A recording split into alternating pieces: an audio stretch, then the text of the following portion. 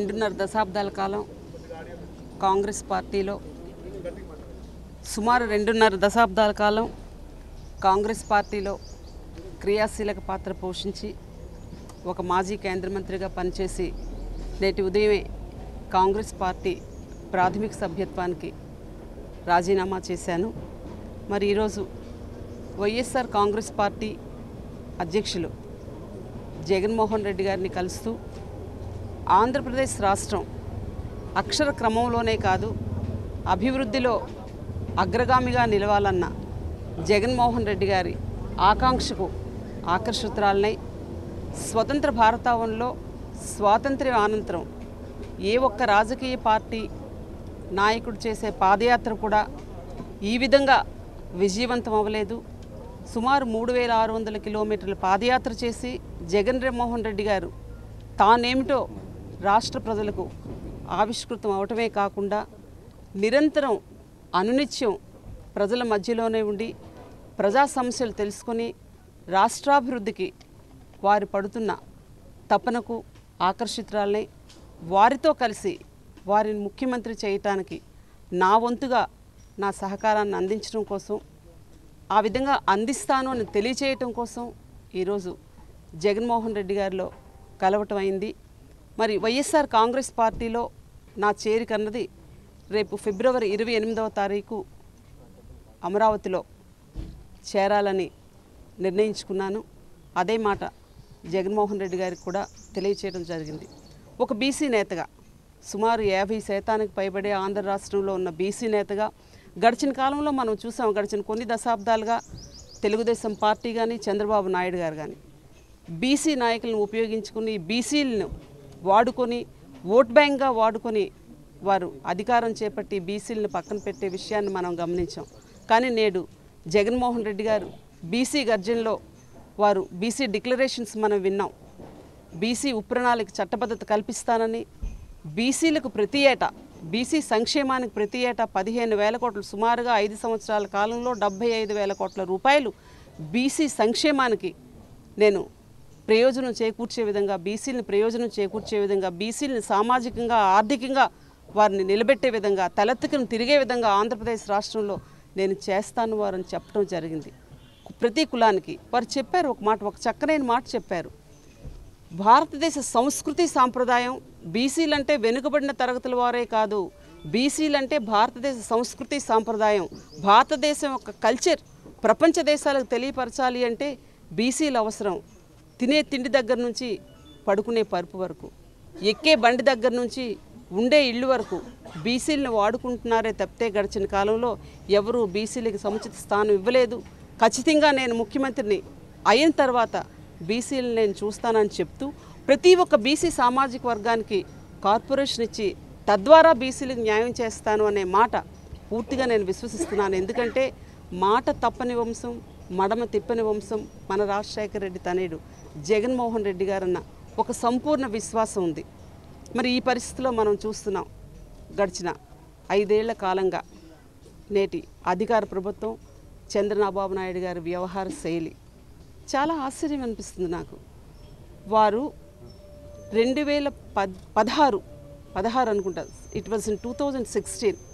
ఎంత చక్కగా మాట మార్చారంటే ఈరోజు అఖిల భారత కాంగ్రెస్ కమిటీ అధ్యక్షులు రాహుల్ గాంధీ గారు ప్రత్యేక హోదా నేను ఇస్తాను అని చెప్తే చక్కగా స్పెషల్ కేటగిరీ స్టేటస్ అనే మాటను ఆ ప్రత్యేక హోదా అనే అంశాన్ని వారు హైజాక్ చేసుకుని అతిపెద్ద జాతీయ పార్టీని కూడా వారి జేబులో పెట్టుకునే విధంగా అక్కడ ఒక నాయకుడు ప్రత్యేక హోదా ఇస్తాను అంటే తెచ్చేవాడిని నేనే అనే విధంగా ఆయన మాట మారుస్తూ నాలుగేళ్ళ క్రితం నాలుగేళ్ళ వరకు ఈనాడు విపరీతంగా తీవ్రంగా విమర్శిస్తున్న బీజేపీ ప్రభుత్వాన్ని నాలుగేళ్ళు అంటకాగి ఇప్పుడు బీజేపీ ప్రభుత్వాన్ని నరేంద్ర మోడీ గారిని తీవ్రంగా విమర్శిస్తూ నాడు టూ థౌజండ్ సిక్స్టీన్లో ప్రత్యేక హోదా కన్నా ప్రత్యేక తరగతి హోదా కన్నా ప్రత్యేక ప్యాకేజే మిన్నా ప్రత్యేక ప్యాకేజ్తోనే ఆంధ్రప్రదేశ్ రాష్ట్రానికి లాభం కలుగుతుంది అని చెప్తూ అర్ధరాత్రి ప్రెస్ పెట్టి మీ ముందరే ప్రత్యేక హోదా వలన అనేకమైన పనులు మనం చేసుకోవచ్చు. ఇదేమైనా ప్రత్యేక హోదా ఉన్న రాష్ట్రాలు ఏమైనా అభివృద్ధి చెందాయా? ఇదేమైనా సంజీవన? అంతకంటే మిన్నగా కోడలు మగబిడ్డను కంటాను అంటే అత్త వద్దంటుందా అని వ్యాఖ్యలు చేసి ప్రత్యేక హోదా మీరు ఇచ్చినందుకు మీకు ధన్యవాదాలని ఒక పోలిట్ బ్యూరో సన్ తీర్మానం చేసి కేంద్ర ప్రభుత్వానికి పంపుతూ నేడు ప్రత్యేక ప్యాకేజ్ వల్ల లాభం లేదు ప్రత్యేక హోదా వల్లనే లాభం నా వల్లనే ప్రత్యేక హోదా వస్తుంది ఇదిగోండి నేను ఢిల్లీ వెళ్ళి ప్రత్యేక హోదా కొనిస్తాను మీకు తెచ్చి ఇచ్చిస్తాను అనే చందంగా ఆంధ్రప్రదేశ్ రాష్ట్ర ప్రజలను మరి ఒకసారి మభ్యపెట్టడం వలన బాబుగారు నమ్మే మాటలు ప్రజలు లేరు విశ్వసించరు. ఇవాళ ఆంధ్ర రాష్ట్ర ప్రజానీకం జగన్మోహన్ రెడ్డి గారి పైన ఉన్న అభిమానం డబ్బిచ్చి ఎవరూ కొనలేరు. అధికార ప్రభుత్వం డబ్బిచ్చి ఓటర్లు లొంగబెట్టుకోవాలన్న వారి దురాలోచన దయచేసి వారు విరమించుకోవాలని మరిన్ని విషయాలు రేపు ఇరవై ఎనిమిదిన వైఎస్ఆర్ కాంగ్రెస్ పార్టీలో నేను అఫీషియల్గా జాయిన్ అయిన రోజు మీతో పంచుకుంటానని సెలవు తీసుకుంటాను అమ్మ ఇప్పుడు కాంగ్రెస్ టీడీపీ అలయన్స్ పెట్టుకున్నారు తెలంగాణలో? అక్కడ కూడా పెట్టుకునేటువంటి పరిస్థితి ఉందంటున్నారు కాంగ్రెస్ టీడీపీ పొత్తుని ఇంతకాలం మీరు కాంగ్రెస్ పార్టీలో ఉన్నటువంటి నేతగా ఏ విధంగా చూస్తారు? నేనైతే దాన్ని నా వ్యక్తిగత అభిప్రాయం తీవ్రంగా వ్యతిరేకించానండి.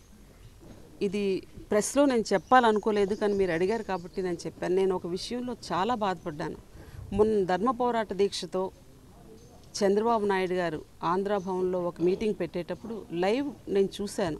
చూసేటప్పుడు నేను అనుకున్నది ఏంటంటే నేను కాంగ్రెస్ పార్టీ మీటింగ్ చూస్తున్నానా తెలుగుదేశం పార్టీ మీటింగ్ చూస్తున్నాను? Why because total CWC was there with Chandrababu Naidu. Rahul Gandhi garu ప్రత్యేక హోదా ఇవ్వడం ఏంటి? ఈయన ఇక్కడ హైజాక్ చేసి ఈయన నేను తెచ్చానని చెప్పుకోవడం ఏంటి? సేమ్ థింగ్ తెలంగాణలో సోనియా గాంధీ గారు తెలంగాణ వస్తే కేసీఆర్ కొన్నట్టే అనిపించింది నాకు. నాకైతే ప్రత్యక్షంగా నేను దాన్ని తీవ్రంగా వ్యతిరేకించాను. తీవ్రంగా నేను వ్యతిరేకిస్తాను స్టిల్ నేను వ్యతిరేకిస్తాను దీనిపైన రాహుల్ గాంధీ గారికి ఒక లేఖ రాశాను. నేను ఐ వాజ్ ఎస్టానిష్ సార్ నేను సిడబ్ల్యూసీ మీటింగ్ చూస్తున్నానా లేకపోతే టీడీపీ మీటింగ్ చూస్తున్నానా నాకు ఆశ్చర్యమైందన్నాను నేను దీన్ని తీవ్రంగా వ్యతిరేకిస్తున్నాను. పార్టీ అంటే తెలుగుదేశమే.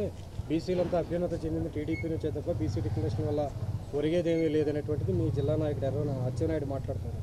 దాని మీద మీరు ఏమంటారు మీ జిల్లాలో అచ్చెన్నాయుడు గారు మాట్లాడుతున్నారు. వాటి మా వారి మాటకు నేను సమాధానం చెప్పాల్సిన దురదృష్టకరమైన పరిస్థితి వస్తుంది అన్నది నేను అనుకోలేదండి. ఖచ్చితంగా ఒక బీసీ నాయకుడు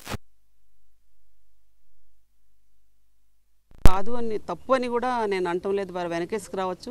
కానీ ఈరోజు బీసీల వారు కుల వృత్తుల వారికి వారు ఏ విధంగా మోసగించారు?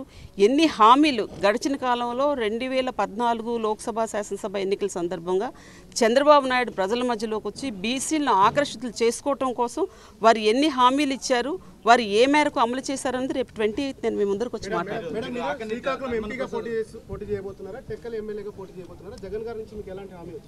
శ్రీకాకుళం ఎంఈ ఎంపీనా శ్రీకాకుళం ఎమ్మెల్యేనా అన్నది నేనేమీ ఆశించి రాలేదండి. మీకు చెప్పాను ఆంధ్రప్రదేశ్ రాష్ట్రం అక్షర క్రమంలోనే కాదు అభివృద్ధిలో కూడా అగ్రగామిగా నిలవాలన్న జగన్మోహన్ రెడ్డి గారి ఆలోచన విధానానికి వారి ముఖ్యమంత్రి అవటానికి వారి వారి నాయకత్వాన్ని బలపరచడానికి నా వంతు సాయంగా నేను రావాలని భావించాను. బేషరతుగా అన్కండిషనల్గా జగన్మోహన్ రెడ్డి గారి నాయకత్వం మీద సంపూర్ణమైన విశ్వాసంతో వారు నాకు గౌరవిస్తారు నాకు ఆలోచనతో ఈరోజు పార్టీ మీరు వైసీపీలో చేరడాన్ని ధర్మన వర్గం వ్యతిరేకిస్తుంది. ఆయన అందుకే గైరాజరయ్యారని కూడా చెప్తున్నారు. ధర్మాన వర్గం వ్యతిరేకిస్తుంది ఇది ఇది అంటే మీరు నాకు అడగాల్సింది కాదు దీనికి నేను సమాధానం చెప్పాల్సింది కాదండి. ఇప్పుడు నేను చేరింది ఒక రీజనల్ పార్టీ నాయకుడి దగ్గరకు వచ్చాను. నాకు ఈ పార్టీలో నేను పార్టీ కోసం పార్టీ ప్రయోజనం కోసం చేరాను. ఎవరు నా రాకని వ్యతిరేకిస్తున్నారా ఎవరు స్వాగతిస్తున్నారా అన్నది నాకు అనవసరం. నేను అందరితో కలిసి పనిచేయడానికి నా వంతు ప్రయత్నం నేను చేస్తాను. నాకు జగన్మోహన్ రెడ్డి గారు ముఖ్యమంత్రి కావాలన్నది నా ఆకాంక్ష. ఆ ఆకాంక్షకు దగ్గరలో ఎవరితోనైనా కలిసి పనిచేయటం నేను సిద్ధంగా ఉన్నాను. వారితో నాతో వారు నాతో కలిసి పనిచేయనప్పటికీ పార్టీ బలోపేతానికి జగన్మోహన్ రెడ్డి గారి హ్యాండ్ స్ట్రెంగ్తెన్ చేయడానికి జగన్మోహన్ రెడ్డి గారిని ముఖ్యమంత్రిగా చూడాలనే ఆకాంక్షతో వచ్చే వ్యక్తిని కాబట్టి నేను వారితో కలిసి పనిచేయడానికి నా ప్రయత్నం నేను చేస్తాను. వారు నాకు సహకరిస్తారా లేదా సహకరించలేదని భవిష్యత్తులో చూద్దాం.